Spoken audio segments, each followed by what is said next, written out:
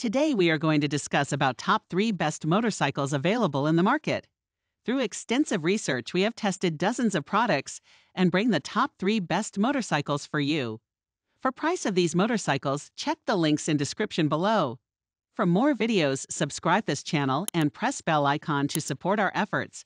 Let's get started. Number 3. Ducati Panigale V2. No, it's not the fastest bike you can buy. It's not even the fastest bike Ducati makes. But for those of us to do most of our riding on civilian roads with speed limits and cars, the V2's restraint is what makes it the ideal performance focused motorcycle. A 441 pound rig, it has 155 horsepower, more than enough to thrill any rider on a highway on ramp or track day, but still be manageable at crowded intersections. The V2 also includes electronic aids that can help you approach the bike bike's limits without paying the price. Among them, a six axis inertial measurement unit, IMU, that detects lean angle to help inform the braking and traction control systems. High tech, ludicrously fast, visually arresting, the V2 is everything that Ducati does better than anyone else. Number 2. Triumph Thruxton RS. Within Triumph's lineup of awesomely modern bikes that look old, this is the one to covet. The RS starts from the already excellent Thruxton, which when it came out in 2016 was praised for being a modern, sporty, comfortable motorcycle disguised as a beautiful classic cafe racer. This version gets upgrades like an Öhlins rear suspension, twin 310mm Brembo front brakes, grippy Metzeler Racetec tires, and even a lighter weight battery. The parallel twin engine has new cylinder heads, pistons, and camshafts, and the transmission gets a new clutch too. That adds up to about 7 more horsepower, more low end torque, and a slightly higher redline, but also almost 15 pounds in weight reduction thanks to thinner engine parts and a lighter chassis. Same as most retro bikes with big, powerful engines, the RS is heavier than naked or sport bikes, but the brilliant steering and smooth power compensate to keep it agile.